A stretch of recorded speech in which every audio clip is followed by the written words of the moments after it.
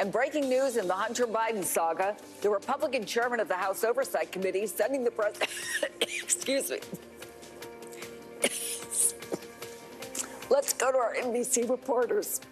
Excuse me one sec. Apologies for that, Lindsey. Let's begin in New York City. Yeah, Chris, Tell we are out here outside the trial in lower Manhattan. And from what we're seeing from Ivanka today, already styling.